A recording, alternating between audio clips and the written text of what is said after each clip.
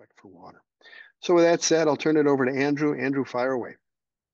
Great, thank you, Paul. And I'll get you to cue a few things up in a few moments. Um, so, hello, Sally, CJ, Lauren, Diana, Stanley, Matt, Miguel, Mateo, Ingrid, Amy, Paul. Good to see all of you on this Easter Easter day. Um, so this is class four of Dos de los Cantares, or I'm calling it, you know, like the second of the uh, rounds of the cantos. And last week we looked at uh, particularly the fifth decad or decad of cantos, which are cantos 42 through 51, which had been published in 1937 and I want to do a couple things with those just to wrap up those cantos and then move um, rapidly forward. Um, and I'll probably be going back and forth just a little bit. But if you remember, last week we ended with Canto 49, which the cantos are untitled, but this is one that has always been called the Seven Lakes, and it had it was built out of translations of classical Chinese poems. And if you remember, we talked a good deal about near the end of it. Pound gave the Japanese transliteration of one poem, and we all agreed that it sounded a little bit like what you chant in the Zendos, um, like the Heart Sutra. And uh, if you remember that the canto, we don't have to cue it up, but if you want to go to page 245 and look at the final lines, in fact, there it is right there. Remember, we sort of finished with the K, men, ran, K, kiu, man, man, K, jitsu, getsu, ko, kwa, tan, fuku, tan, kai. And then we came to this what is clearly a very compressed translation of a classical Chinese poem sun up, work, sundown to rest. Dig well and drink of the water. Dig field, eat of the grain. Imperial power is, and to us, what is it? And then the final two lines, the fourth, the dimension of stillness and the power over wild beasts. So that line and the power over wild beasts immediately echoes the final line of Canto 47, which we also read last week, two cantos before, a canto that really is pulling together um, uh, some of Pound's own personal memories, but it's really sort of a riff off of what he understood to be the Eleusinian mysteries or the old um, I guess you could say, Mediterranean religion based on the light, on maybe three things light, intellect, and sexuality, the light of the intellect and sexuality.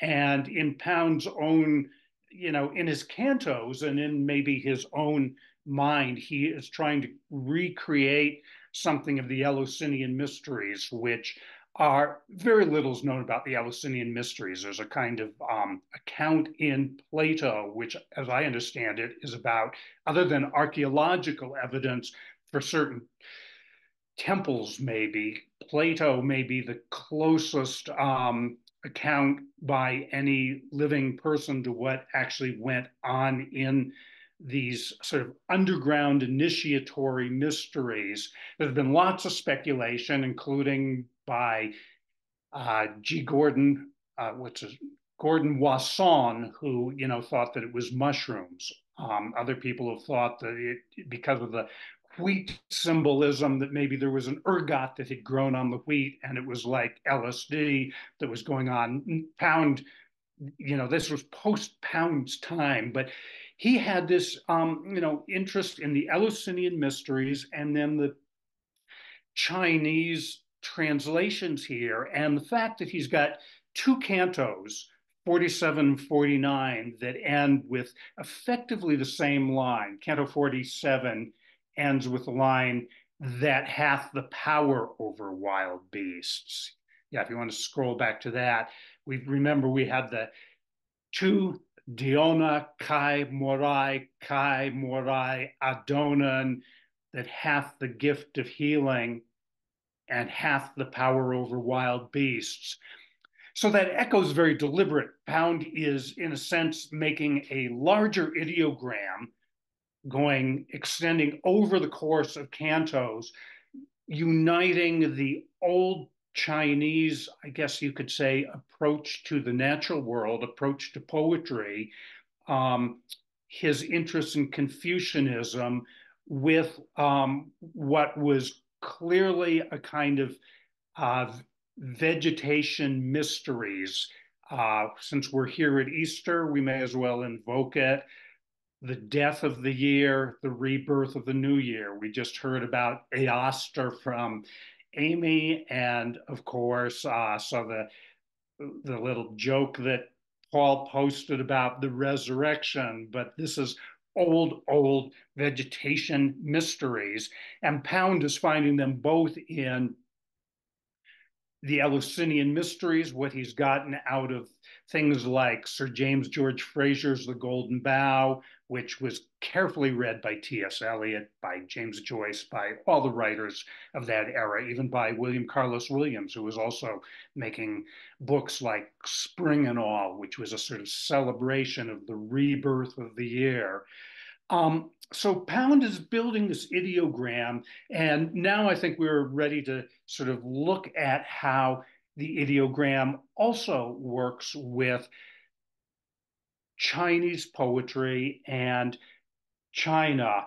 Um, if you remember, those of you who were in the first go round of this, all the way back in Canto 2, we had an episode out of Ovid where Lyaeus or Dionysus had created a great, made a great transformation of a ship which began to develop jungle like qualities as the boat was stuck in the water and cats began to manifest out of the air panthers, leopards, and he uses the words cats too. And these cats are the image of Dionysus and lots of classical Greek art. If you look at images of Dionysus, if he's not in sort of a form of Bacchus eating grapes, he will be often being in uh, depicted in a chariot being drawn by panthers or mountain lions or wild cats. Uh, so the cat is the vehicle of Dionysus, or at least the uh, accompanying power of Dionysus. And our ideogram is now bringing classical Chinese poetry in. Um, so we ended on page 245. I want to take a quick look, Paul, at um, the one, the canto just before before 47. We'll go to page 242. I just want to show something going on here on page 242. Good. This will be, bear with me a moment. This will come back a little bit. But if is, is Andrew frozen or am I frozen? you know, I asked Andrew to teach this course because I'd heard good things about his course at Naropa from Danika Dinsmore back in the day. And I thought, you know, I've not read the canto, so I really like to have a guide. And so he was good enough to to do it for us. And hopefully his Zoom will be working now and he'll be back in the room he just asked to re-enter. I just entered, allowed him to enter and um, go from there. So let me just take. Where are they now, Paul? Did I they're, They're up in uh, Boulder. Yeah, they're at Andrew's place in Boulder. And said, uh, they said Sugarloaf. Yeah. So Wherever I think that that's is. I think that's near Boulder. Yeah, oh yeah, yeah, yeah, it is. Just outside. Yeah. So um Hey Paul, this yeah this is a lot to try to read this by yourself. Yeah. You know, it, it, you need a guide. I mean, you obviously need a guide for this with the, I mean, there was one canto I read 20 years ago that was hypertext. And so if you didn't know the reference, you can click, new tab opens up. It's like, oh, that's what that is. And it, it's just so hard to read something and every third or fourth line have to look it up. So kind of glossing over it. And then Andrew, as he's reading it quite often, um, will say what it means. So he's a very, very good guy. And of course, he's taught at Naropa for a long time. And to be honest with you, he, he likes working with you guys. He says it's so nice to work with adults who are interested in the material. So, um, am I back in? back. you are back in, and we are on page 242, and we are we missed you. Yeah, um, hopefully I'll be able to stay with everybody. We've got this, uh, you know, sort of issue of um, my uh, internet, maybe my server. It may not be. I don't think it's my internet. I think it might be my server. So we'll just have to see. All right. Well, here we are. Fire away. Good. So here we are, you know, about 10 lines down of Canto 48. And I just want to read a few of these to show something. So you see the um, single opening quote while she bought two pairs of shoes. Everybody see that okay there? Good. While she bought two pairs of shoes, two veils, two parasols, an orchid artificial, for which I was presented with a new kind of net gloves made like fishnet. So the day was not wholly wasted. The priest here had nuova messa dodicesimo anno ef bella festa because there was a priest here to say his first mass and all the mountains were full of fires and we ran around through the village in giro per il paese two men and two horses and then the music and on the sides children carrying torches and the carrozze with the priests and the one that had to say the new mass and the carrozze were full of fine flowers and there were a lot of people. I liked it all the houses were full of lights and tree branches in the windows covered with handmade flowers and the next day they day they had mass and a procession please may i go back there and have a new pair of sunday shoes End quote mark. Different tone of voice for every pound, huh? That's actually um, uh, a letter he's just cut into the cantos from his daughter Mary Rudge, who is up in the Italian Tyrol. And uh, this canto would have been written in either 1936 or 1947. And, um, you know, it's an interesting I think the reason I wanted to point it out is just a little bit of the sense of where some of our other poetries have come from. Um, you know, you have William Carlos Williams.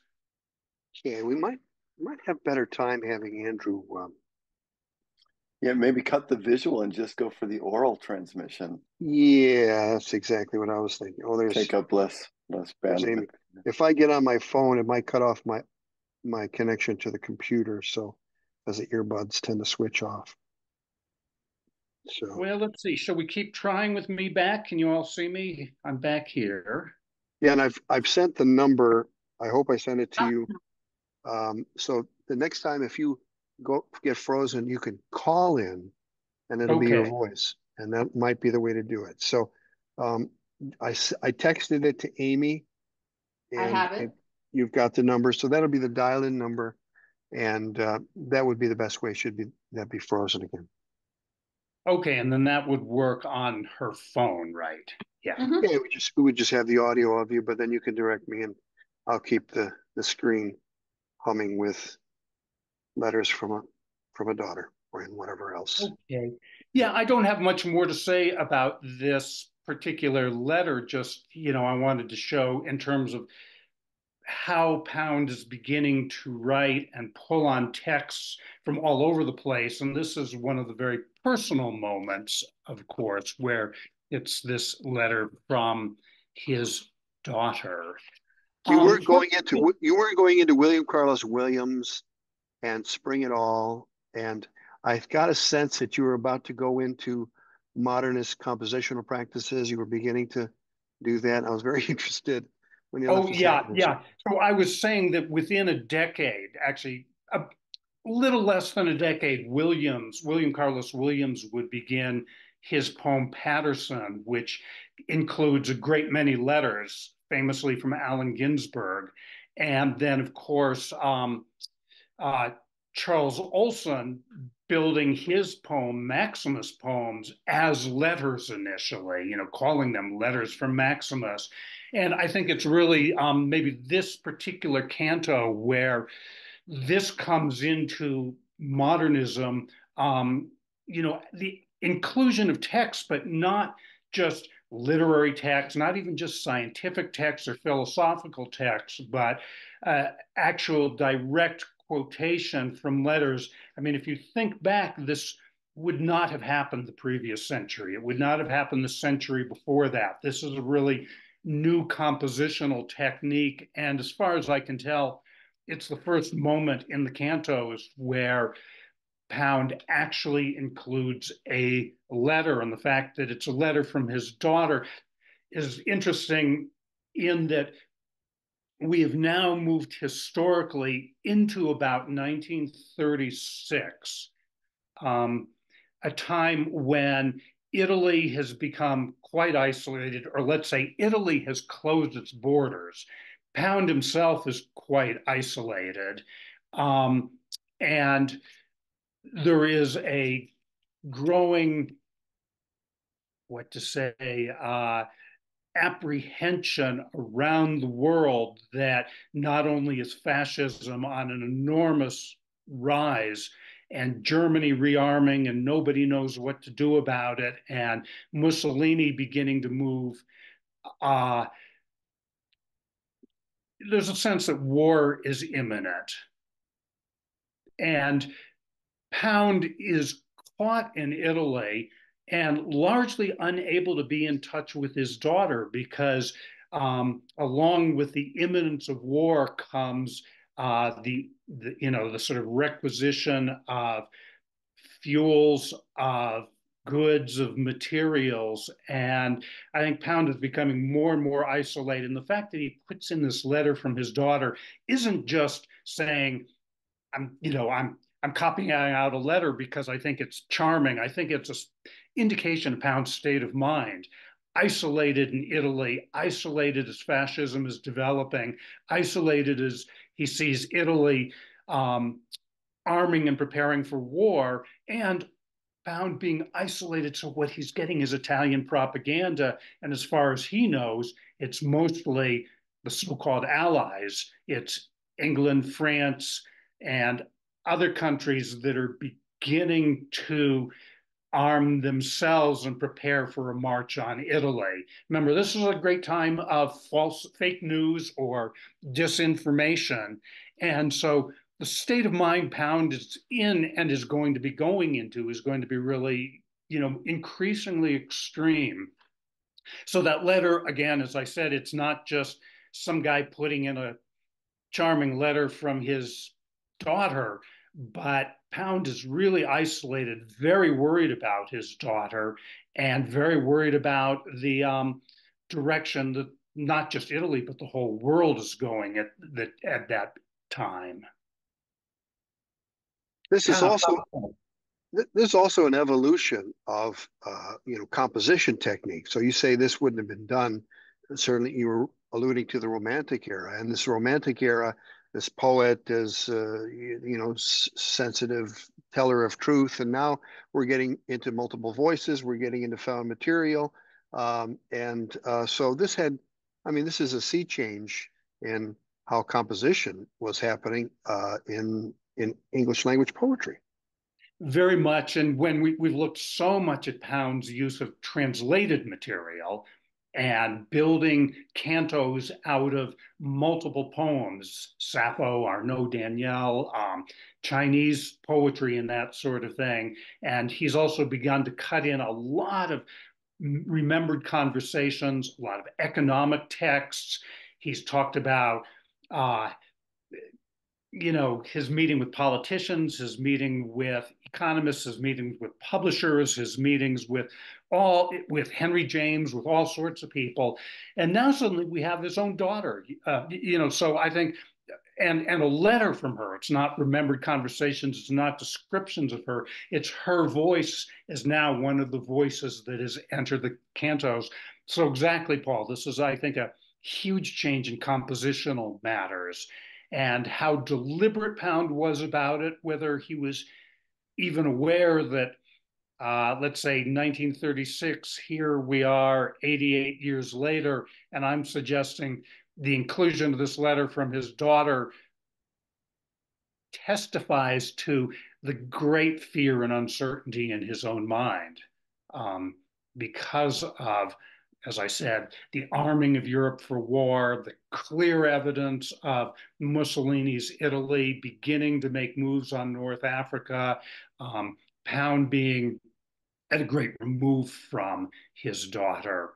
Um, I'll come back to that in a few minutes, but if you remember the story of him at some point feeling he needed to see her and talk to her, and walking from Rome to Gais in the Tyrol, 400 miles basically on foot with no money.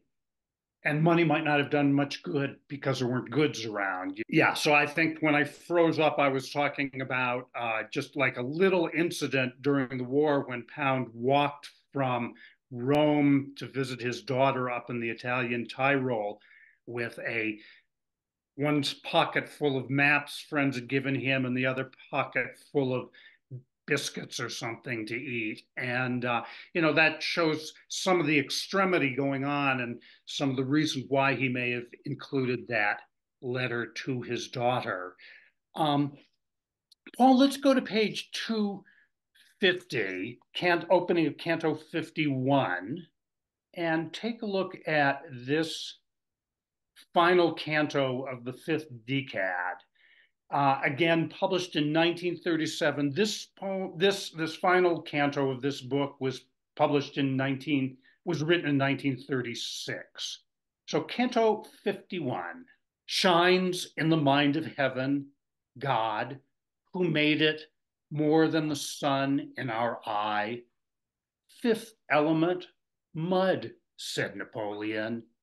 With usury has no man a good house, made of stone no paradise on his church wall. With usury the stone cutter is kept from his stone, the weaver is kept from his loom by usura. Wool does not come into market. The peasant does not eat his own grain. The girl's needle goes blunt in her hand. The looms are hushed one after another. 10,000 after 10,000. Duccio was not by Usura, nor was La Calunnia painted. Neither Ambrogio Predis nor Angelico had their skill by Usura, nor Saint Trophime its cloisters, nor Saint Hilaire its, prop- its proportion. Usury rusts the man and his chisel. It destroys the craftsman, destroying craft. Azure is caught with cancer. Emerald comes to no memling. Usury kills the child in the womb and breaks short the young man's courting. Usury brings age into youth. It lies between the bride and the bridegroom. Usury is against nature's increase. Whores for Eleusis. Under usury, no stone is cut smooth. Peasant has no gain from his sheep herd. Blue dun number two in most rivers for dark days when it is cold a starling's wing will give you the color, or duck widgeon. If you take feather from under the wing, let the body be of blue fox fur, or a water rat's, or gray squirrel's. Take this with a portion of mohair and a cock's hackle for legs.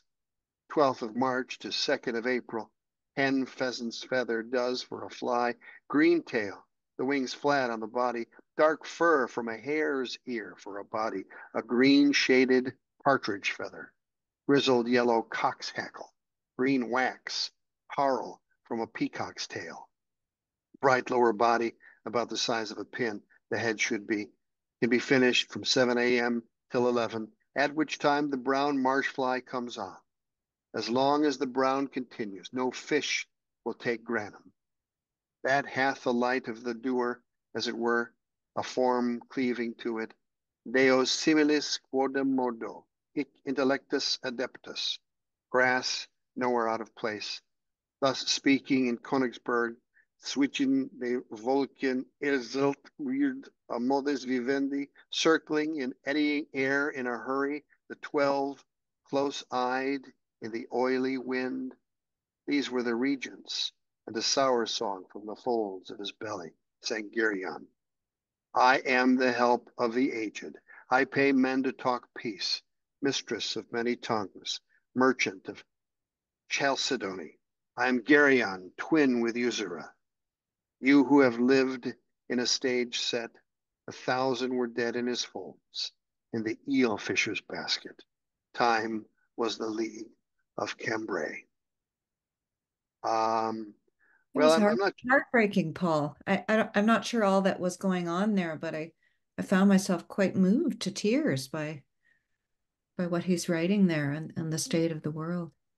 Well, I think one thing is very interesting. Here he comes, Andrew's coming back. But I'll just say, you know, I think one thing is very interesting how he was hooked on this usury thing.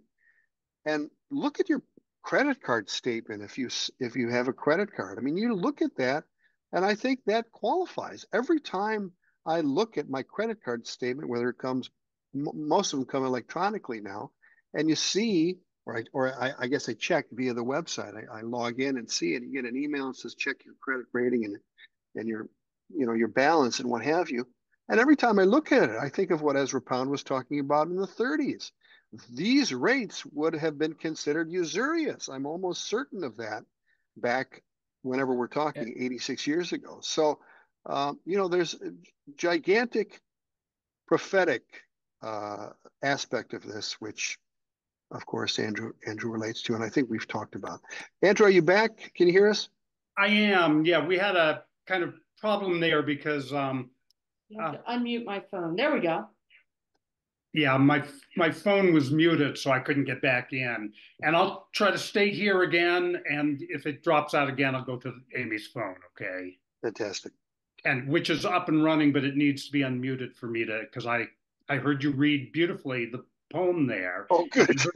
Somebody and I couldn't see who say they were very moved by it. Lauren Medley said that. Lauren, yeah, okay. Well, if you remember from last week, this poem now has re, you know, has brought back the kind of incantation about usury, um, almost line for line of uh, Canto 45.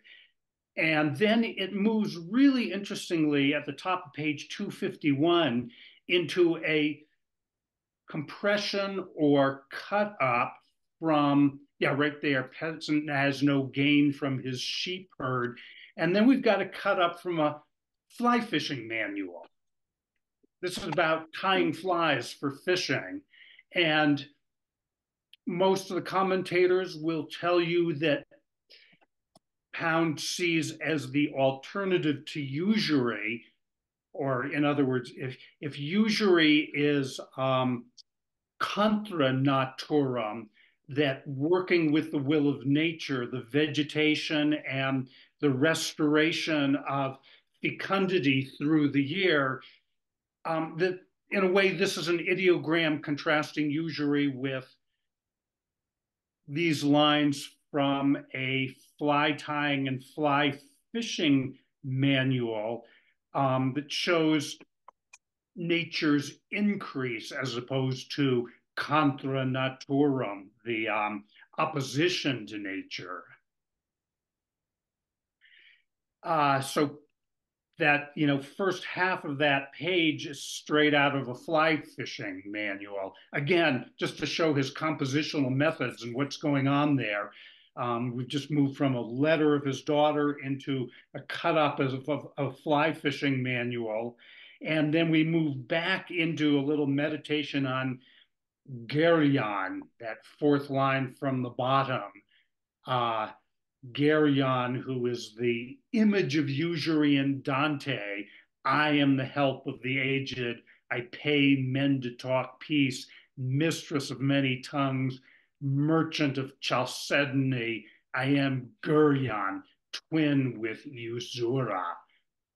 You who have lived in a stage set, a thousand were dead in his folds in the eel fisher's basket. time was of the League of Cambrai. Zheng Ming. I wish I, you know, I, I'm not sure I can pronounce this quite right. I think that first ideogram is Cheng, and it would be, uh, it would be uh, the the Chinese tone that rises and falls. So Chang Ming, and this comes straight out of Confucius. This is right name, and the um, the Confucian phrase is call things by their right name. And uh, as we all know, probably Chinese language is very compressed. The line from Confucius might actually just read, call things right name. Um, but this is now being contrasted with what we just got with Geryon. I am the help of the aged I pay men to talk peace, mistress of many tongues. I am Geryon, twin with Usura. And the contrast with that is call things by their right name. Um, this is really important for Pound, and it is um, part of his feeling or part of his sensibility that has to do with we went all the way back to the hell cantos. It's not just usurers it's obstructors of knowledge, it's obstructors of understanding, it's the publishers who don't want to put a good book in print because they've got so much money invested in their old books, even though the old books are outdated. You know, so Pound is really here onto a sense of we need to restore right speech, right names, uh, call things by their right names. And that's where the fifth decade ends. Um, Paul, you want to go to the next page? Scroll to the next page. Um, these cantos, 52 to 71, we're going to probably not really go anywhere with, but I do want to show you something going on. The opening page of this next book you can see my screen. This is a copy of the original edition in the United States, the New Directions Cantos 52 to 71. Um, let's see, Paul, can you bring me back to full screen for anybody who wants to pin me? I want to show something here that would be sort of interesting. Um, this book, published in 1940, I think. Yeah, 1940 by New Directions. I'll show you this if those of you who like um, books, this is kind of cute. Um, at the back of it, there's a little envelope with an insert that has a photo of Ezra Pound and two little essays. One essay by the publisher of New Directions, James Laughlin, and another essay by the poet Delmore Schwartz, who was a New Directions author, um, explaining what Ezra Pound is doing. James Laughlin really is explaining in terms of Ezra Pound's scholarship and the sort of content of the cantos, and Delmore Schwartz writing about Pound's methodology and metrical patterns and various things. But it's interesting that New Directions felt they could not really issue this book without some sort of explanation to even people who are presumably readers, um, because this book is really doing exactly with a seven volume set of French what Pound has just done with half a page of a fly fisher manual. He takes, um, you know, he does, he devotes 10 cantos to Chinese history and another 10 cantos to the letters of John Adams. And, um, you know, not a, not a thick book, but I think even the publisher of New Directions was getting nervous that a book like this might very well be unsellable. And this is what, you know, Ezra Pound was working on on his way up to the outbreak of World War II. Um, this would have been delivered to the publisher in 1939, basically, when you know we sort of recognize as the watershed moment when World War II broke out. Um, Paul, you want to pull um, up those pages we were just looking at again? So now we'll um, notice this opening page of that canto with the ideogram. He says, No one is going to be content with a transliteration of Chinese names. Um, when not making a desperate effort at mnemonics or differentiating in vain hope of distinguishing one race from another, I mainly use the French form.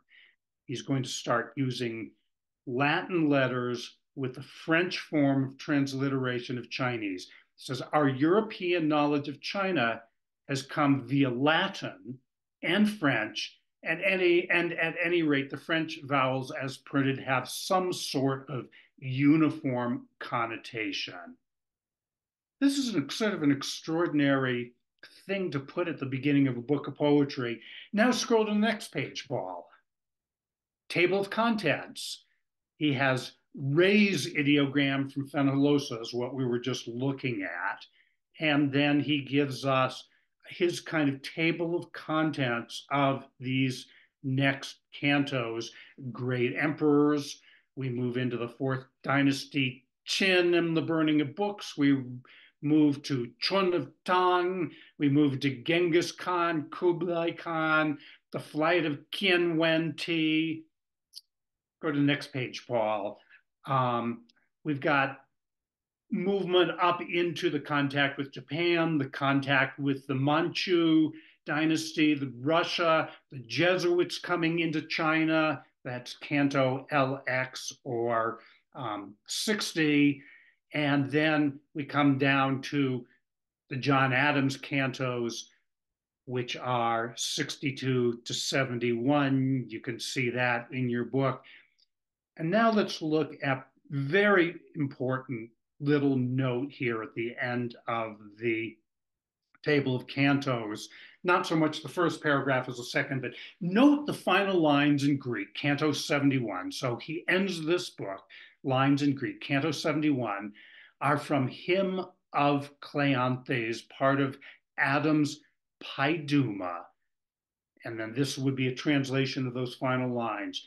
Glorious, deathless of many names, Zeus, I ruling all things, founder of the inborn qualities of nature, by laws piloting all things.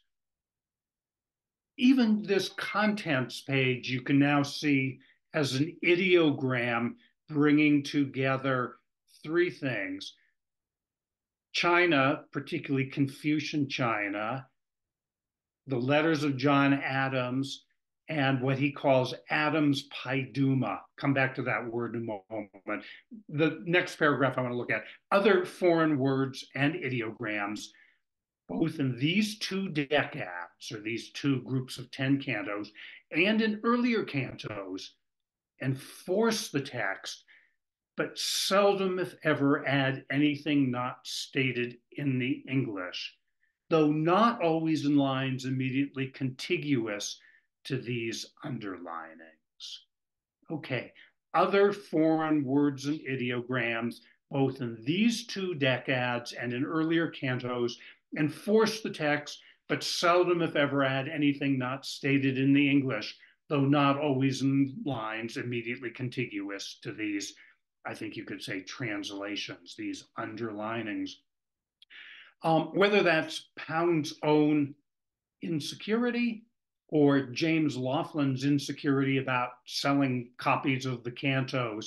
This is important because it's basically telling you that there's Latin, there's Greek, there's Chinese, there's Old Provençal, there's Italian, there's French, there's Russian words, there's Hindi words, there's Sanskrit words. If you don't get them, that's okay. What you don't get isn't going to do anything except enforce what's already there in the text. Seldom, if ever, add anything that's not there in the English. Let's go back to that upper paragraph. Don't scroll down yet, just right there. Adams Paideuma. Anybody who really wants to dig into this book and dig into, you know, all of this needs to see that word paideuma. That's a Greek word that, in some sense, means something like culture. It's all the customs, all the intellect, it's all the books, it's all the learning, all the scholarship, all the rights and you know everything from architecture to art to trade practices to marriage practices. A paideuma is like, in a sense, the giant ideogram of what a culture is. Pound starts to use it, paideuma, more as a sense of like that other word I mentioned, excernment. What do you lift out of culture that is absolutely necessary? And his interest in the John Adams letter is what has John Adams lifted out of his studies of history and culture as he tries to build America? What's the paideuma to build the United States of America? And so it only shows up here in the cantos at first as this little note. Part of Adams' paideuma is the hymn of Cleanthes and then just that one line that Pound translates there. But it does give us the clue why Adams is there. Adams was trying to create a culture, uh,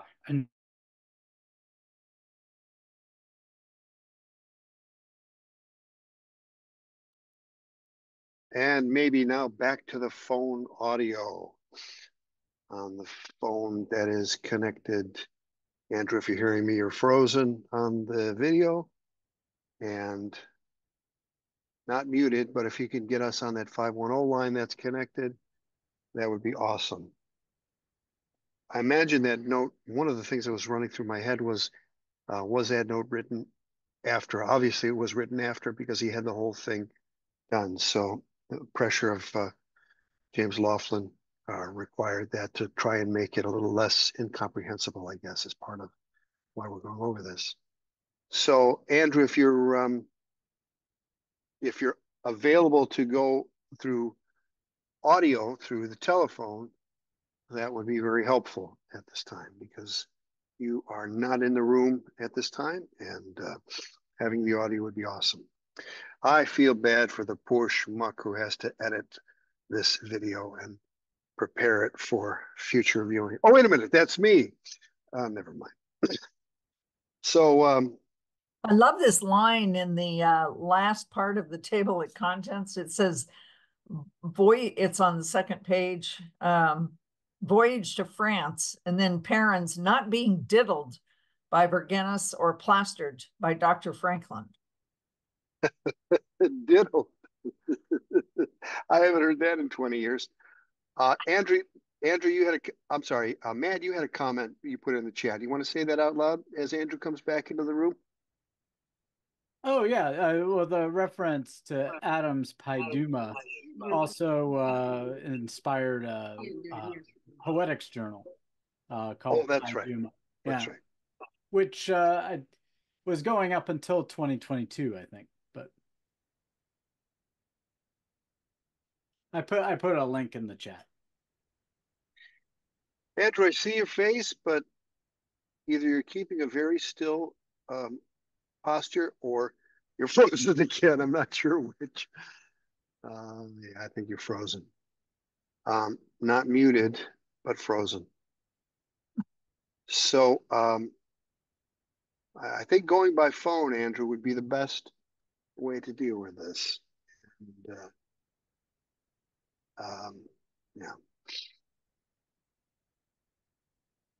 Uh, maybe Yeah, well, it's frozen again. I don't know. If I remove him, then it makes it difficult for him to come back in the room, and it's the best effect when he's there, your video. But uh, now he's definitely out of the room because his. You know, Yes. Paul, Paul. Yeah. I just like to say something. Twenty years ago, we would never would have had these kind of convenings. And Zoom and COVID combined in teaching us a whole lot of ways to communicate. And it's really cool. And and I just finished 76 postcards for the peace, the peace month. And um unfortunately I didn't send you one because I didn't see you on any of the lists but I may send you a bonus card. Thank you. I'd, I'd like that. Yeah. Yes, it's a it's a very it's a very good point about Zoom. What it, Zoom has enabled, and I also think that of of people of a certain generation who knew life before the internet um, and can use these things as tools, we are in a very good situation. However, those who have been born since the internet and depend on these things, um, they're in kind of a dependent state regarding that. Can you imagine uh, growing up with GPS and then having to look at a map? It must be terrifying. Paul, before I disappear, you've got to unmute Amy's phone. okay. You keep Um, unmuted. o- okay. Keep the phone. Because I can I- come on, I can come back on by phone, but it, uh, we've tried a few times and it's muted. Um, it, uh, okay, I can say ask to unmute, so I can click on that and I keep clicking on that and it doesn't seem to, um, doesn't seem to allow me to click on ask to unmute. So She, she probably has to unmute it herself. I think so. And I, uh, because I, there's nothing I can do. I, I, tr- all my, my only option is ask to unmute, pin, rename, put in waiting room, remove or report. So, and I, and I try and clicking on ask to unmute and it does not appear to be, um, functioning. So I go back. And, and Paul, that's a, that's a great point that you made about trying to read a map. Can you imagine trying to read a map hands-free while you're driving down the road? That's right. Andrew, you're frozen again. So, ah, Paul, unmute the phone You and can I They can hear you now. Paul, can Yep. you hear us? can hear you. Yeah, absolutely. And what comes on the, uh, the screen is an icon of the phone. So I guess the phone is now unmuted. Yes, the phone is now unmuted. Good. Go You hear me now? Absolutely. Let's stick with this for the duration. Okay, good. Let's do this. Yeah, and I'll just work without a screen. And I will bring up the, uh, the text so that we have something to look at besides your phone icon. And so we were talking about other foreign words and ideograms and what have you. So we were in that second paragraph and about to launch into fifty-two, I think. Um, yeah, I wanted to just make sure everybody had noticed that, that combination of actual, probably largely, largely true that you can read the cantos without knowing what all the foreign language says because it shows up somewhere, maybe not immediately contiguous, but somewhere nearby you get the translations. But the other is that I think Pound is starting to feel a little bit uneasy that um, his poem is becoming increasingly unreadable to many people, and this is his putting people at ease. Uh, since I can't see anybody there, um, I may keep touching in just to make sure you can still hear me. Is that right? We can hear you just fine, Andrew. And uh, also, I, I'll be happy to direct traffic. So I would just encourage people if they have a question or a comment to use the raise hand function, which is under uh, reactions, I guess. And you can raise your hand and I'll recognize you, hopefully in the order that you raise them. And we can go from there. Good. So, and and and good. And then alert me because I'm not seeing you. I you can hear my voice, but you're not seeing me. I'm not seeing you. So um, you can just say there's a question, Andrew. How's that work? yeah, that's a good idea. Or I'll read the question or I'll recognize someone and they can ask it. So are we going into 52 then? No, what I want to do is basically, I want to basically skip these two decades and skip this book because I think this is something that anybody can read on their own if they want to. But I think we are going to be, as a group, you know, better off um, instead of reading from these two, I want to go back over what happened to Ezra Pound during the war. These cantos, um, cantos 52 to 71 were published in 1940, which is to say they were delivered to his publisher uh, about the time the war broke out or shortly beforehand. And this is a really crucial period for him. Uh, and I know that I talked about his life in the last go round, but it's not a bad idea to speak to it a little bit more. Italy was arming itself for war. Um, the fact that Ezra Pound and his wife Dorothy and his beloved Olga Rudge, who lived in Venice, all of them were cut off from the countries of their origin, meant many things, including no money.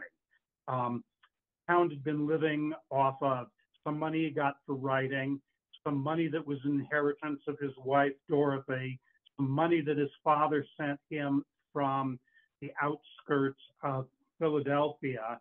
And now the money was largely cut off. So the isolation became more and more acute in Italy. And at some point, Olga could no longer afford her apartment in Venice.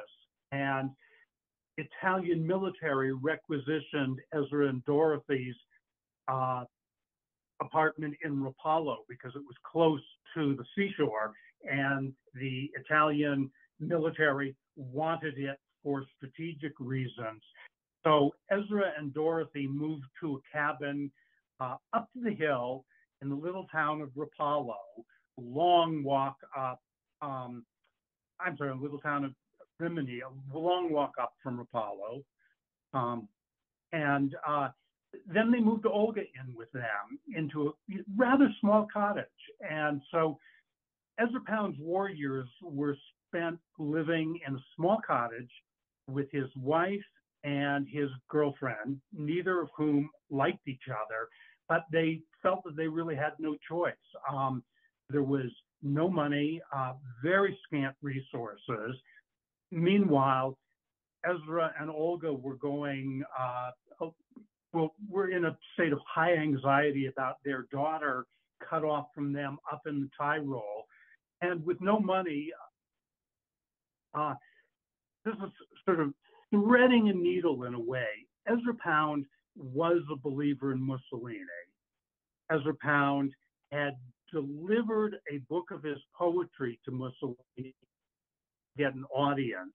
And when he saw Mussolini, Mussolini said something like, my, that book of yours is really interesting, which is what everybody says to a poet, whether you've read their book or not, it's interesting. It doesn't mean any comprehension. But Ezra Pound, in his state, thought that it meant Mussolini understood his book, and he decided to throw in his alliance with Mussolini and the Mussolini government However, at the same time, he needed to make money. And he was very excited and interested in radio. And he worked to get a job on Rome Radio, which was controlled by the Mussolini government and was eventually given a weekly radio broadcast, which would bring in enough money to support him, his wife, Olga Rudge, and to send some money up to Mary his daughter up in the Tyrol. Can everybody hear me now? Yes, Paul, you there? I'm here. Good. Okay. So Pound began to broadcast from Rome Radio, and he was led to believe that he was broadcasting on a frequency that went to American troops in the trenches. Um, it seems that actually the band that the Italians were using did not go to the American troops. But Pound thought he was broadcasting to the American troops. And he spent those war years not writing cantos, but writing broadcasts that sound like the cantos at their, I guess you could say, their most mad. Um, Uh, these were dutifully recorded by the OSS, the predecessors of the CIA, and uh, archived for the eventuality of America winning the war and eventually arresting Ezra Pound and putting him on trial for treason. Ezra Pound, before going on radio, had requested that he sign a legal document that said he was broadcasting his own thoughts and opinions and broadcasting uh, not under the aegis of any government, but simply being given a band to broadcast his own thoughts on. Lawyers tend to think later that this would have exonerated Ezra Pound of the charge of treason. He was not um, being off. He was, in other words, he was not reading scripts given him by the Mussolini government. He was simply speaking his own mind on the radio. It did not go to the troops, though he thought it did. Um, and this is what he did to make money for a number of years during the war. Uh, when the war began to wind down, and particularly when Allied troops landed in South Italy and began to work their way north, a number of things happened. First of all, the Mussolini government fell. Mussolini was briefly imprisoned by Italian, they were called partisans. They were in opposition to Mussolini and in some ways pro Allied. Uh, they imprisoned Mussolini and his mistress, and German commandos freed them and took them up to the north of Italy and set up a kind of puppet government ruled by the Germans, but with Mussolini as the head of it. And this was a brief and very painful episode in Italian history. Um, eventually, the Mussolini government fell. Italian partisans executed Mussolini and his girlfriend, uh, dragged them into a town square and hung them up, strung them up by their ankles. And this was this a photograph of this was widely circulated through America, through Italy, through France, through the whole world, really, but particularly through Italy and England and the um, victorious allies when the war wound down and both Italy and Germany had fallen. Um, there was a big movement among English and American military to round up people they thought were traitors, people who had worked for the governments, people, in other words, British nationals and American nationals who had worked for Italy, Germany, or Japan in some capacity. And they rounded, rounded up quite a few and they executed a number of them pretty quickly. And the call went out to arrest Ezra Pound. Pound, meanwhile, in his rather, I think, mad state, thought that he could be of use to the occupying forces in Italy. After all, he had been living for over 20 years in Italy knew Italian fluently, knew the coinage, knew the government systems, knew the train schedules. So he went down and offered himself to American forces several times to uh, offer his services. And of course, the American military forces looked at this crazy old man. He would have been um, about 65, and they or just about 65 years old, and they said, go home. And then Ezra Pound heard that there was a warrant out for his arrest. And he went down and tried to give himself up to the American military, and they told him to go home. They couldn't believe that a warrant was out for this guy. You still with us, Paul? I am, and you are too. Great.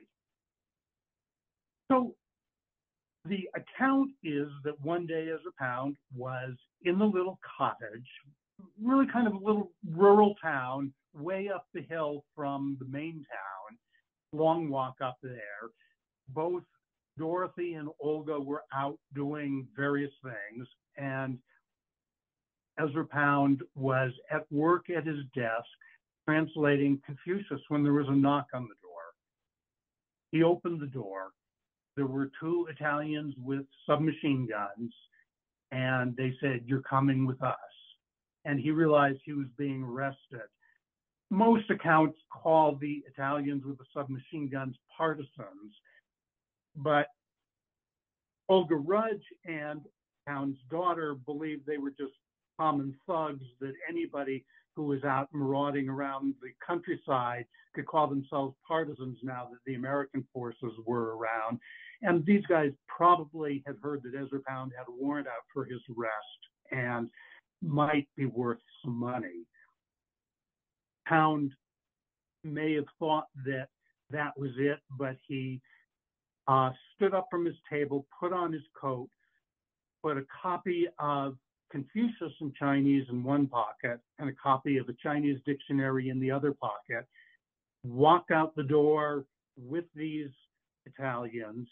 As he began to walk down the long salida or road down to wherever they were taking him, he looked back, he saw his landlady, he threw her, his key and he put his hands or fingers around his neck and gave a little jerk as though he was being hung and disappeared from sight down the road. As he walked down, he stooped and picked up a little eucalyptus nib, a little eucalyptus seed, and put that in his pocket too. The Italians took him down to the American military. They were apparently not paid any money for him. Uh, he was immediately put into a cement room, one wall of which had bullet holes and blood stains on it. And Pound realized this was a room that was being used to execute people in. So he spent the next 48 hours assuming that he would be executed. Dorothy, meanwhile, returned to the cottage, learned from the landlady that Pound had been taken away. He went down to uh, town and was reunited with him briefly.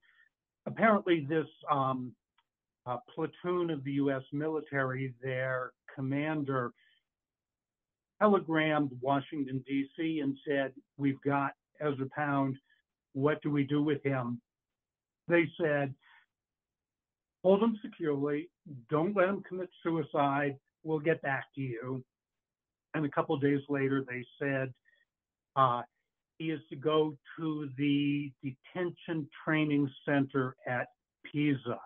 Pound was loaded into a Jeep. Dorothy was not allowed to accompany him. And the military guards drove him to Pisa to a detention center, the DTC or Detention Training Center at Pisa, which was effectively a outdoors prison camp for uh, U.S. military criminals. It was largely soldiers who had either gone AWOL or had committed some sort of crime, and they were herded up and put into a big compound at Pisa. Um, within that encampment, there was a death row. Death row was a line of cages, very small cages. I think somebody the other a week or two ago held up a photograph of the cages. Um, the DTC, Detention Training Center, did not know anything about Ezra Pound, but they got word from Washington that there was an important prisoner coming. They were to guard him with the highest security, and under no circumstances were they to allow him either to escape or to commit suicide. So before Pound arrived, they reinforced a cage at the end of the line of cages with um, extra heavy steel. They welded it tight and drew up Klieg lights put on the cage 24 hours. When Pound arrived, he was put into the cage, which not very large. It was about eight feet high and may have measured something like four or five feet wide and was about eight feet deep, but a real cage. And uh, after a few days, Pound began to go probably even more crazy because he had acute insomnia. Remember, he's 65 years old. He's sleeping on the bare ground. He's got Klieg lights lighting him up 24 hours a day. He thinks he may be executed any minute, and there are American military guards with weapons patrolling around his cage day and night. Uh, they eventually supplied him with a little pup tent, which he erected in the cage, but he um, had a complete breakdown, two kinds of breakdown, mental breakdown, and I guess you could say an eyesight breakdown. His eyes became heavily inflamed from the combination of the sun over Pisa and the Klieg lights at night that wouldn't let him sleep. He was brought to the medics tent and the medics sort of nursed him back to health and became very fond of him and let him use their typewriter. And uh, he was, everybody eventually realized that he was probably not a risk to escape. They had made sure that there was nothing really much around him he could use to commit suicide, and the medics let him come to their tent often during the day and use their typewriter. He wrote poetry for the next about seven months while he was in the detention training center, still under the threat of execution because he watched other people on death row taken out and hung. He was within sight of the gallows. That will come up in the Pisan cantos. So he had no freedom from the sense that the order might come any day to take him out and hang him.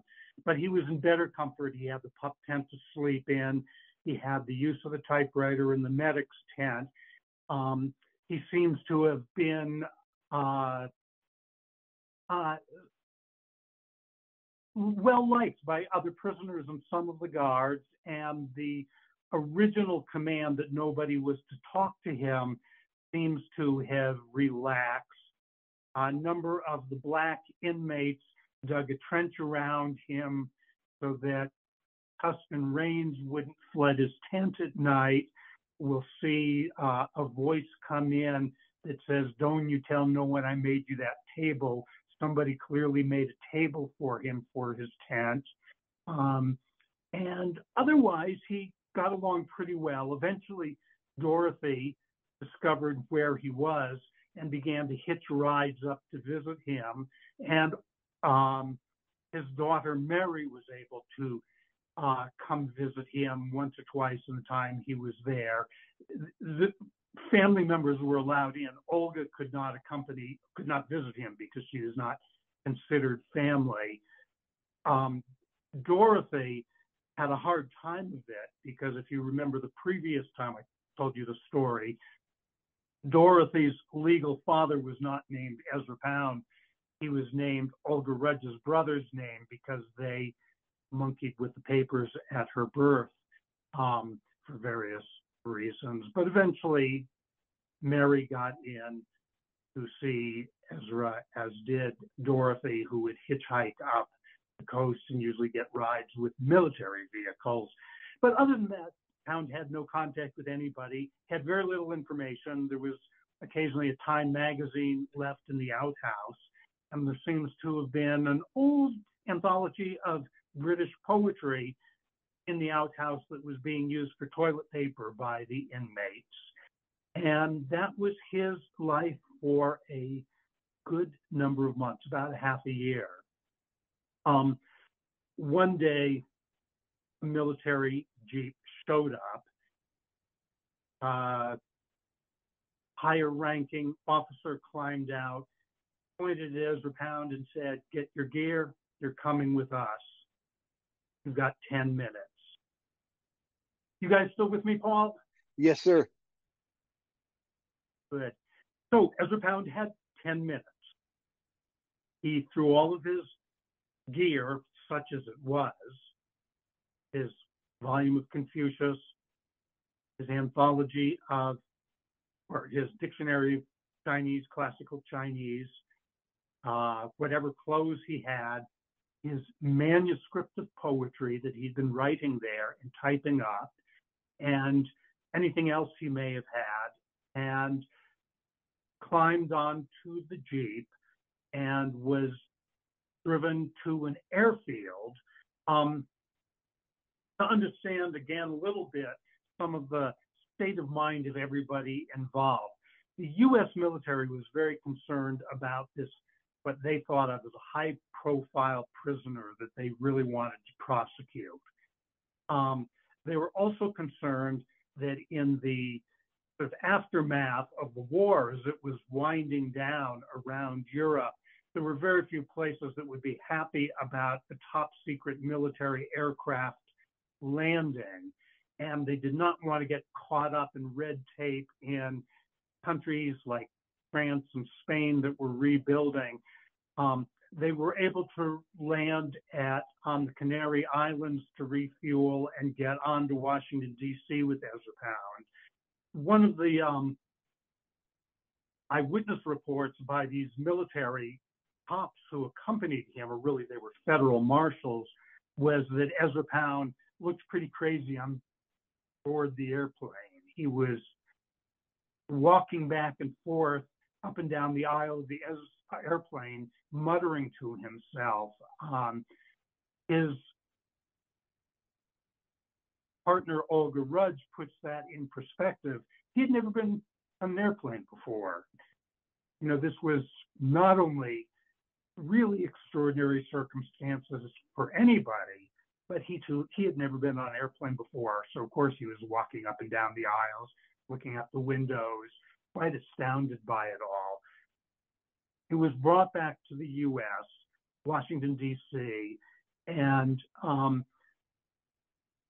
due to the federal marshals, they decided to put him through fairly rigorous psychological profiling. And the psychologists came out and said, the guy is pretty crazy. He cannot understand the charges against him, the charges of high treason. And we recommend that he not be put on trial. Um, it would be a fiasco because he's not fit to stand trial. And Ezra Pound was basically remanded to St. Elizabeth's Hospital for the criminally insane, put under the tutelage of the warden, you could say, or the head of the hospital there, um, and went into a political limbo um, for the next, I think it was 17 years. He lived in that the bug house, as he called it, at St. Elizabeth's having never been found, having been found insane and therefore unable to understand the charges leveled against him, he could not be put on trial, which means that no matter how hard his friends worked with lawyers to get him exonerated, he could not be put on trial. He could also not be pardoned by an American president in any easy way because having not been found guilty of a crime, there was no crime to pardon him for. So this is the political limbo he went into. And his friends worked for decades to get him sprung from the prison. Uh, Dorothy Pound came and got a little apartment in Washington, D.C. Uh, and he was fairly liberally allowed visitors. All sorts of people went to visit, as I've mentioned, from Diane Prima to Allen Ginsberg to Paul Blackburn to W.S. Merwin um, to Charles Olson, Robert Lowell, many, many people went to visit him. Elizabeth Bishop, I mean, the list goes on and on and on. Um, that book of his that he wrote, Piece of Pisan Cantos, received the most prestigious poetry prize, a brand new one in America, the Bollingen Prize, very controversial because it not only gave a prisoner in the bug house the award for poetry, but it also gave somebody that the US government considered to be a treason poetry prize. And this was big news in all the news magazines, all the newspapers, and it was written about endlessly with all sorts of op-ed people weighing in on both sides. Many people thinking that he should be hung. Many people thinking that he was a victim of circumstances or that he was crazy or that he was the nation's greatest poet and that it was a travesty that he was in the hospital. Any of you want to read any of this can go and, you know, check it out endlessly in the biographies. Uh, great little book that came out called a Casebook on Ezra Pound. It had documents, including legal documents and articles in Time Magazine and Life Magazine, the New York Times and the Washington Post, on and on and on. Um, but I think as a group, we will probably be better off going right into the Pisan cantos because those are something that we do not want to miss. Um, and I think if you would like to read the 10 cantos of Chinese history and the 10 cantos of John Adams' letters, as somebody noticed, not being diddled, by Vergennes or plastered by Dr. Franklin. Um, you can certainly read it, and maybe we will drop back into it at points, but the um, whole of the Pisan cantos are hugely important, and I think to the minds of many people, the core of the cantos, and also very importantly, the place that probably most Americans who read Ezra Pound came into the cantos. Who could ignore the Pisan cantos? They had received the Bollingen Prize. Ezra Pound was, if not front page news every day, he was regularly in the newspapers. People were readily, readily editorializing about about him. If you read Time magazine, Life magazine, Newsweek, if you read the New York Times or the Washington Post, you saw his name there all the time um, being written about. There were people on the streets yelling to have him hung. There were thoughtful artists and academics making the case that he should be freed, that this was a travesty of justice. Um, he was, uh, he had friends in high places, not just his publisher, James Laughlin, Laughlin at New Directions, but there were various people like Robert Frost, who was well known to a succession of administrations as the American poet. There was Archibald MacLeish, who I don't think anybody reads as a poet anymore, but knew a great many of the players in Washington, D.C. And uh, so a quite controversial person for a long, long time. And particularly around the Pisan cantos, which is where readers of poetry mostly came in. And I think these are the cantos that our immediate elders from Prima, McClure, Pound, Ginsberg, to Levertov, Baraka, Creeley, Olson, W.S. Merwin, the list goes on and on and on. And, uh, you know, these are, I don't have to say it myself, but in many people's view, the heart of the cantos one of the great books of American poetry ever written and ever published. And uh, I think this is what we're going to go into and go through rather carefully. Notice that 1940 was when the Chinese and the John Adams cantos were published. They were all written before America entered the war, before America declared war, because they were turned over to his publisher, well, really in 1940, so largely 1936 to 1940, during the period of the ascendance of fascism, outbreak of war, that book um, was quite obscure with the Chinese cantos and the John Adams letters and anybody who wasn't already an Ezra Pound aficionado would have thought it was a really unprofitable book to try to read as poetry. There was there were two cantos written before the Pisan cantos. These were probably written around 1944, written by Pound in Italian, at the time that Mussolini had his government had fallen and he had been restored in a kind of puppet government by the German commandos. And these were published. Well, Mussolini was set up in a town called Salo, S A L O with an accent, Salo. And these are called the Salo cantos. And they are often seen as adulation for Mussolini and his order, but they were suppressed and only added to the final edition as we have it of the cantos. They were not, I think, put into the cantos until something like 1986, written in Italian.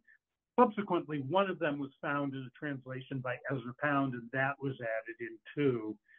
You can find a translation by somebody else of the other one of these Salo cantos. Um, talk about fake news.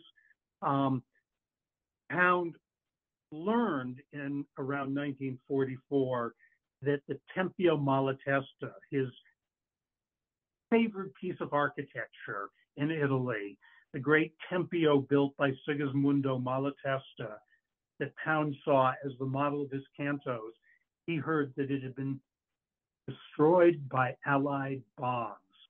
Um, fake news, it had been damaged, it had not been destroyed but just to give a little indication of the fake news that had gone around. There was, and the Salo cantos are worth reading at some point, but they are both based on fake news that was going in the general panic in 1944 when the Mussolini government had fallen. Nazi Germans were coming down from the north, Americans and British and French sappers were coming up from the south. It was a war torn country, and people were widely panicked and fleeing in all directions.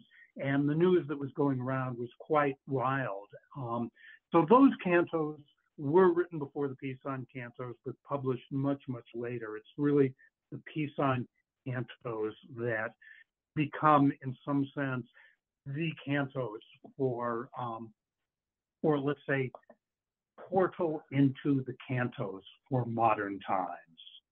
Andrew, talk to us about the Uh, connection bet- between Pasolini and these cantos and the and the general. Obviously, it's a it's a commentary on fascism and libertines and what have you. Um, but it seems to me um, relevant to what we're what we're speaking of here with a with a um, Salo cantos. First of all, Pound made what I call his fatal error by deciding that Mussolini was a great figure like Sigismondo Malatesta, like Jefferson and Adams, and like Confucius, and complex ways for each of them. Pound had published a prose book called Jefferson and or Mussolini, which was a kind of manifesto thrown at the American people. Um, Pound thought of Mussolini as a tough guy, but heroic with a good heart, who was really trying to deal with the absolute intolerable economic and political conditions of pre war Italy. So Pound had begun to think of him as a reasonable figure. That was probably propped up by a lot of Italian propaganda. And don't forget that Pound eventually supported himself by broadcasting on the radio, and the radio was government radio in Mussolini's government. So maybe a little bit of um, uh, what's that term psychologists use where you sort of justify things because anyhow. Um, but when pound wrote the Salo cantos he was he had fallen for a lot of the fake news. He had come to believe that american and canadian forces were destroying the great um, monuments of italy. They were raping italian women. They were looting. They were burning from the reports Pound was getting on the street, the barbarians were coming up from the south. The other barbarians, the German Nazis, were coming down from the north. And the only hope was the Mussolini government in Salo. And those two Salo cantos are very spooky. They are based on no plays that Pound had translated back in 19- 15. Um, so 30 years earlier, they're full of ghosts, real ghosts. You can say ghosts are real, but they're more ghostly than the other cantos. And a last desperate look at a really collapsing Italy and collapsing Italian dream. And to Pound, there was a there was a dream which he was seeing now utterly destroyed Maybe most importantly, his dream of writing a book of peace. And in the wake of World War II, it was only now becoming clear to him that World War II had been worse than World War One, which is where he had begun his book. Does that answer a little bit, Paul? A little bit, yeah. Any any other specific questions about Pound Mussolini? Don't uh, I don't see um, I don't see any hands up. I don't hear anyone popping in. Then maybe the thing to do is, um, with the bit of time that we have left, by my clock, we've got about 10 minutes left. Why don't we start to go into the Pisan cantos? My book, page 425, but probably your book, Paul, 445, because your book has the Salo cantos. And if anybody really wants to go through some of those, we may go back to them. But I want to go into the piece on right now. Tell me again So the page. see if- Four fifty. 445. All right, I, I believe I have. Canto, Canto 74, Got it. or L, good, LXXIV. And I'll just say Um, one one last thing about uh, Pasolini. The film Salo is not for the weak of heart. there, there, I remember watching it with Meredith, and she said, "Why are you making me watch this?" I said, Uh-huh. "I'm not making you watch it. Uh, you're free to turn it off." But she watched it, um, and it is, uh, yeah, it, it's something you're not going to soon forget. And um, I can't I can't recommend it, but, but it's related to the content of at least what Pasolini thought about fascism. And then, of course, he was he was run over by mafia or fascists at the end, so paid for paid, paid Yeah. the price for, for making it. Yeah. Okay, Canto 74, the opening of the piece on cantos. And remember, Pound is in his cage at Pisa, where he will spend about six months, maybe a little less than six months. The enormous tragedy of the dream and the peasant's bent shoulders. Manes, Manes was tanned and stuffed. Thus Ben and La Clara a Milano by the heels at Milano. I'm not going to gloss everything, but I want to just gloss this. Manes is the name of the founder of the Manichaeans, and he was apparently hands and stuffed. That's the echo there of the old Inez, who was disinterred in Portugal and put back on the throne to be worshipped by the men who had killed her. Um, I think a little echo there, but we've got that. Then we've got Ben or Benito Mussolini and his mistress La Clara, who had been executed and dragged to Milano and hung up by the heels in the town square at Milan to be celebrated by the partisans, the allies, photographed and circulated around the world.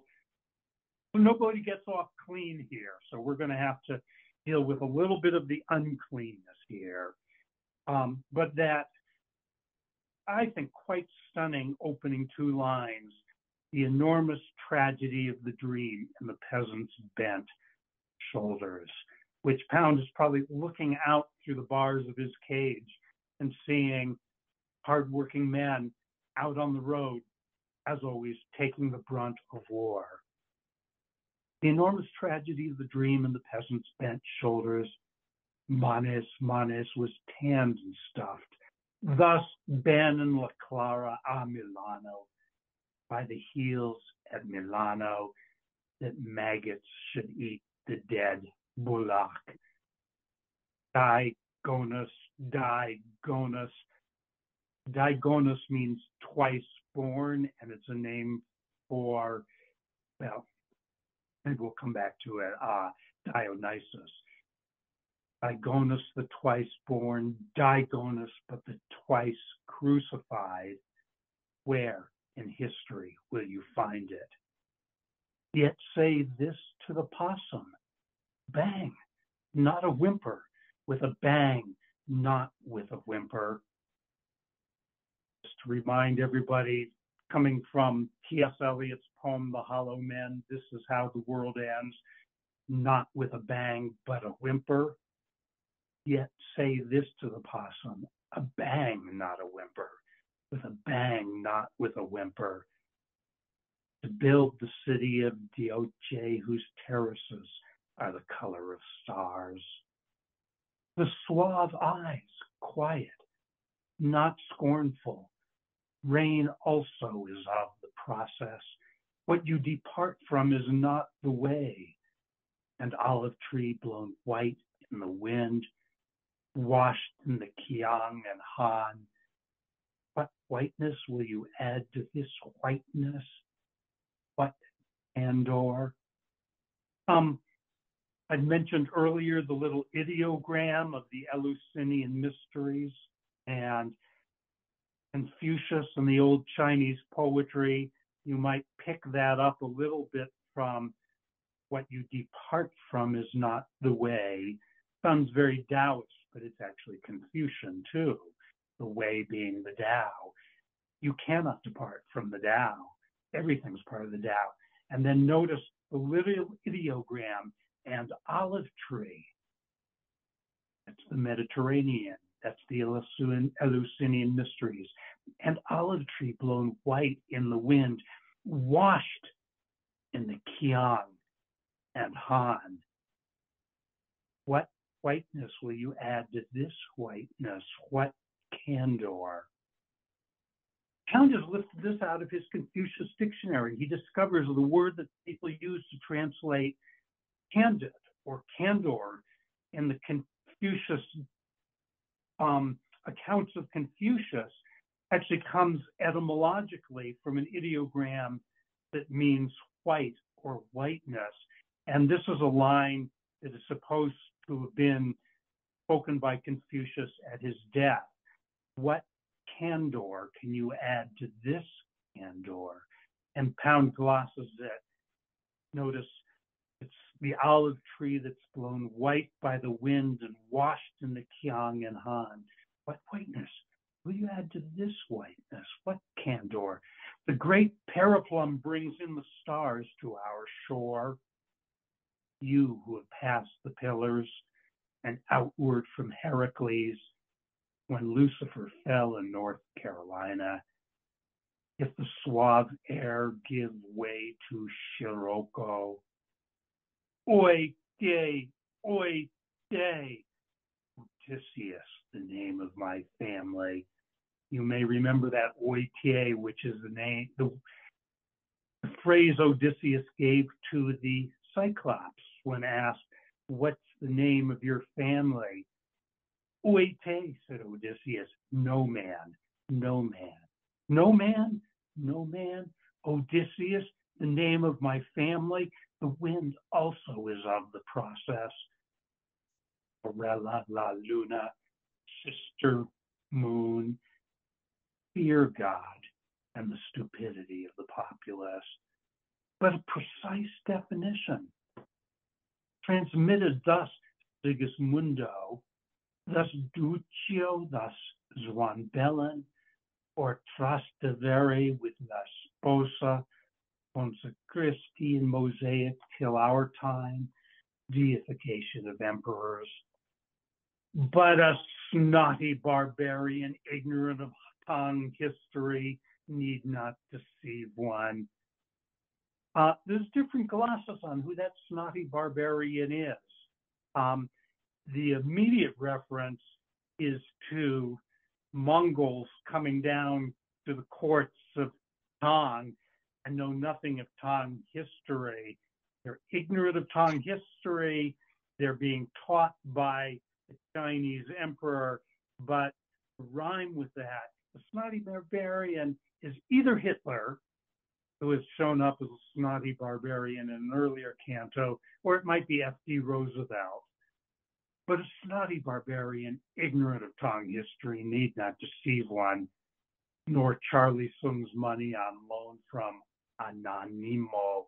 That is, we suppose Charlie had some. And in India, the rate down to 18%, but the local loan lice provided from imported bankers. So the total interest sweated out of the Indian farmers rose in Churchillian grandeur as when, and plus when, he returned to the putrid gold standard as was about 1925. Oh, my England, that free speech without free radio speech is as zero, and but one point needed for Stalin.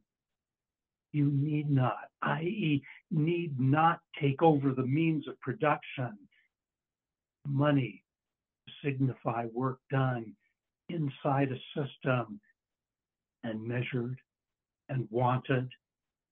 I have not done unnecessary manual labor, says the Roman Catholic chaplain's field book, preparation for confession. Squawky as larks over the death cells, militarism progressing westward. Im Westen nichts Neues, nothing new in the West, and the Constitution in jeopardy. And that state of things not very new either. Everybody good so far? Yeah. And now we're going to have a little insight into what's going on with Ezra. A little quote from Dante of sapphire, for this stone giveth sleep. Remember, I told you he was suffering from acute insomnia because of the pain in his eyes and the klieg lights on him all night long. Of sapphire, for this stone give us sleep. Not words whereto to be faithful, nor deeds that they be resolute. Only the bird hearted equity make timber and lay hold of the earth. And Rouse found they spoke of Elias and telling the tales of Odysseus. Oite, eh? oite, eh? I am no man. My name is no man. But one Wandjina is, shall we say, Wanjin, we've got three little rhymes happening here. We've got from oite to no man, and no man rhyming with the Australian deity, I'm sorry, the South African deity Wanjina, which is now being rhymed with Wanjin, a figure out of Chinese mythology. Um, but we'll come back to that in a moment. I am no man. My name is no man.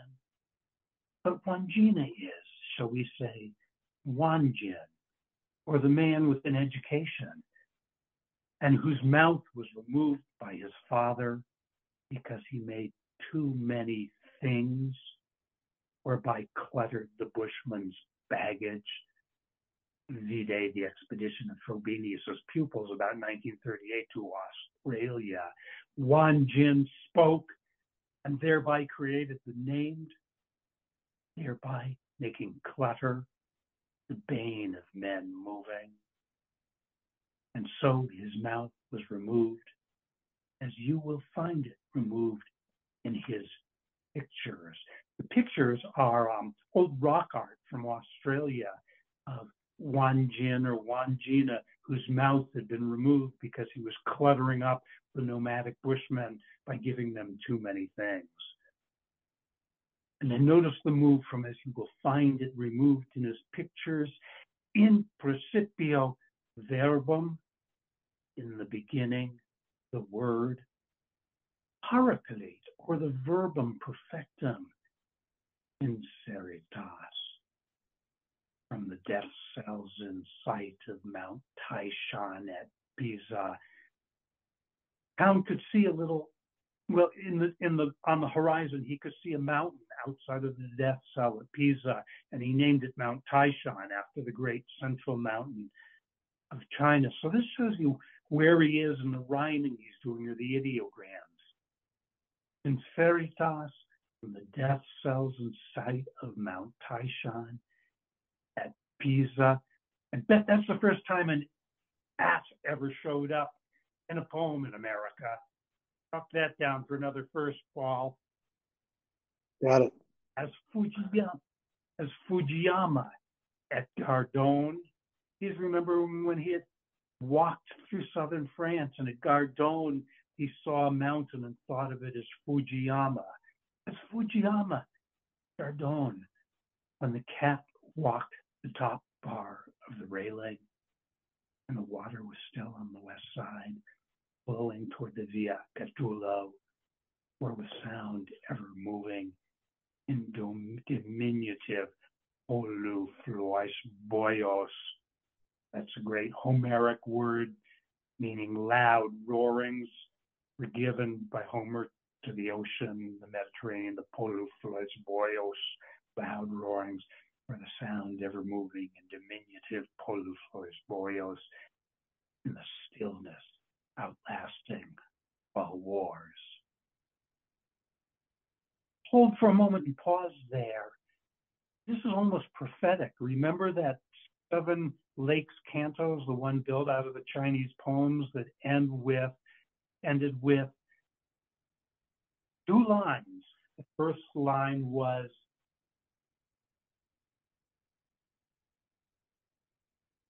stillness, or rather, I'm sorry, the fourth, the dimension of stillness and the power over wild beasts. And we know the beasts for pound are the power that comes with cats. And now we've got him remembering the cat walking the top bar of the railing near the Via Catullo. And as we just, the passage we just end, ended in the stillness outlasting all wars. Quick little echo there, the cats and stillness and the memory of an actual cat, but it's still got the power in the stillness outlasting all wars. La donna, said Nicolete. La donna, la donna. Cosa deve continuare? Why must I go on? Se Bosco, if I fall, said Bianca Cappello, non casco in ginocchion. I will not fall on my knees. Why must I go on? Casco, if I fall, non casco in ginocchio, and I will not fall on my knees. And with one day's reading, a man may have a key in his hands. Lute of Gassir. Ooh, Fasa. Then came a lion colored pup bringing fleas, and a bird with white markings, a stepper under les six potents, that's six gallows, Pounds looking out and seeing the gallows, a bird with white markings, a stepper under the six gallows. And then that makes him think of Villon, Absudra, que tu nous voix Absudra, absolve. May you be absolved as well. Lay there, Barabbas, and two thieves lay beside him. Infantile synthesis in Barabbas, minus Hemingway, minus Antheil, Ebullient, and by name Thomas Wilson.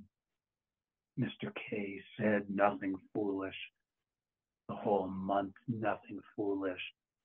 If we weren't dumb, we wouldn't be here. And the Lane Gang. Notice how he's stitching in a line there just that he's hearing out among the people in the detention camp or even on death row. If we weren't dumb, we wouldn't be here. And the Lane Gang. Butterflies, mint, and lesbian sparrows the voiceless with bum drum and banners, and the ideogram of the guard moose. That's one of the lines I think is remarkable.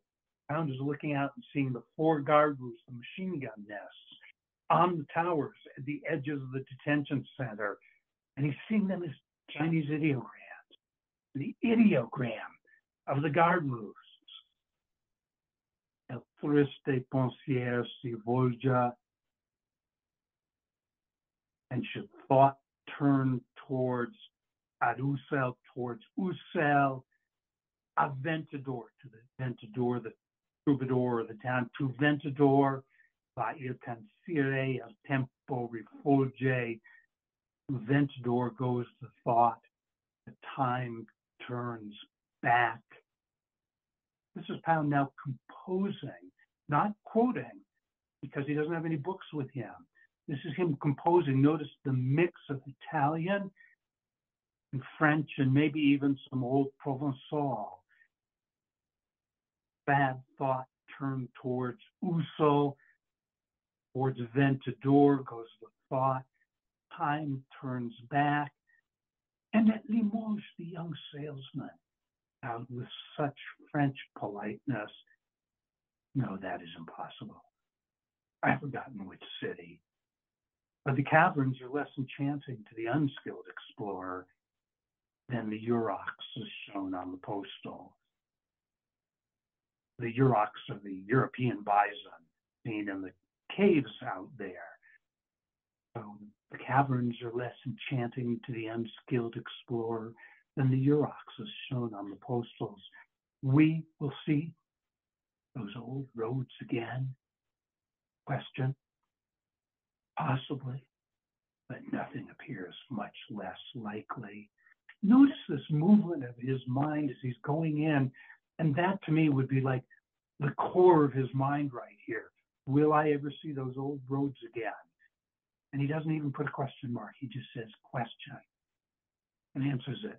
Possibly, but nothing appears much less likely. He's looking out at the birds striding under the six potons, the six gallows, but nothing appears much less likely. Comma, not even like the end of the line. Madam Pujol. And there was a smell of mint under the tent flaps, especially after the rain.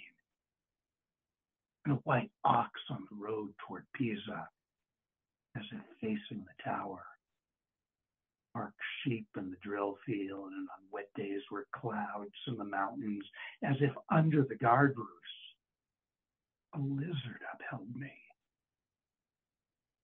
The wild birds would not eat the white bread from Mount Taishan, the sunset, from Carrara stone to the tower. This day the air was made open for Kwannon of all delights. Kwannon, of course, being the Japanese for Guanyin, which is the Chinese for Avalokiteshvar, but Kwannon, the goddess of mercy. This day the air was made open for Kwannon of all delights. Linus, Cletus, Clement, whose prayers the great scarab is bowed at the altar. The green light gleams in his shell, cloud in the secret field, and unwound the silk worms early in tensile and the light, the light is the virtu. Lumina, everything, Erigenes Scotus, is light, as of Shun on Mount Taishan. And in the hall of the forebears, as from the beginning of wonders, the paraclete that was present in Yao, the precision at Shun, compassionate in Yu, guider of waters. I think this is where we'll end today. Paul, you there? I am here and I'm grateful. Are there we any had last such, comments or questions? yes, let's, let's open it to, um, to folks. If anyone has, uh, wants to pipe in, if anyone's left. I think we have most of the folks left. An empty chair Okay, or then two. you can wrap it up. Very good, I'll do it. Um, Matt uh, Treese will be your host next week, and uh, he'll be getting the Zoom room link particular for next week out to the list. Matt, I think if you, oh, you, I BCC'd folks, so you don't have. Oh yeah, I just sent it. Then I sent it to you, Paul. So if you want to send that out and then send me the list so I can send the link out next week. Okay, I'll do that. Um, thank you all for your patience. The trouble with uh, connection. Thank you for your patience, everyone. Yeah. Yeah, yeah. And we'll So- pick up with the um, piece on. We'll pick up the, the piece on where we've left off, or maybe touch back into a few of those earlier passages, but we'll pick up there on page 449. And the meat of the book, right, Andrew? The meat of the book. The meat of the book, yes. Very good. All right. Thank you all. Happy Okay. Easter. We'll see you in Thank April. you. Happy Easter. Stay well. Good night. Good night, everyone. Thank you. Thanks, Paul and Andrew, for getting through that. Yeah. Thank you all. You handled the technical stuff very well. Thanks, Miguel. Without Um, losing it. That was good. I lost I lost many cuticles during that. They're replaceable. Good to see you guys. Bye.